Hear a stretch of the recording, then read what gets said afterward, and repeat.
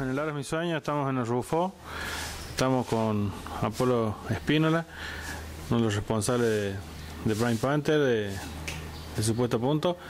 Eh, buenas tardes Apolo, gracias por recibirnos. Contanos cómo, cómo marcha todo con el torillo para, para el próximo domingo, la gran carrera que se corre en Celo.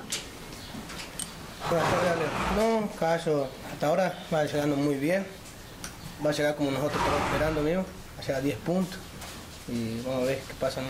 Esperar el domingo. Sí, una carrera muy, muy importante y, y muy dura, ¿no? La que, la que se viene en Selva, ¿no? Sí, es una carrera muy hablada, ¿eh? Muy hablada por la gente. Todo el mundo quiere ver esa carrera. Y es dura. Eh, contanos cómo, cómo marchan todos los preparativos con el, con el moro por el, por el domingo.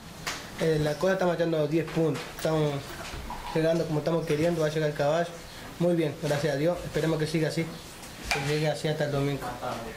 Una, una carrera muy comentada y muy, muy importante la que se viene para hacerlo, ¿no? Sí, es muy, muy hablada y es una, la carrera del año, digamos. Y vamos a ver qué pasa. La expectativa es grande. ¿Cómo, cómo llega el caballo? ¿Cómo, ¿Cómo lo ves en el training vos que estás todos los días con él? No, el caballo está llegando muy bien, muy bien. Y esperemos que llegue mejor todavía. ¿Cuándo viajan para, para hacerlo? No, para no vamos a bajar el día de la carrera. Como ves que está cerquita acá, el caballo va a descansar acá en las casas y el domingo viajamos para hacerlo. Bueno, Polo, eh, te deseamos la mejor de la suerte eh, por este compromiso que se viene ahora para Selva y eh, bueno, el Moro sabemos que es un gran caballo y, y él no tiene mucho que demostrar, pero bueno, siempre, siempre es bueno estos compromisos y bueno, que sea todo con suerte y, y el mejor de los éxitos.